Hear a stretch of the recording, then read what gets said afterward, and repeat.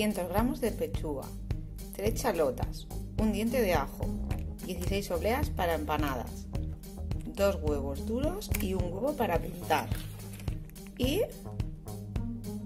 queso.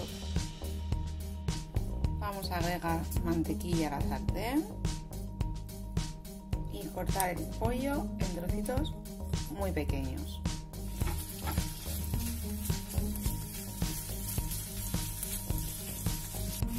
Ponemos agua a calentar para hervir los huevos.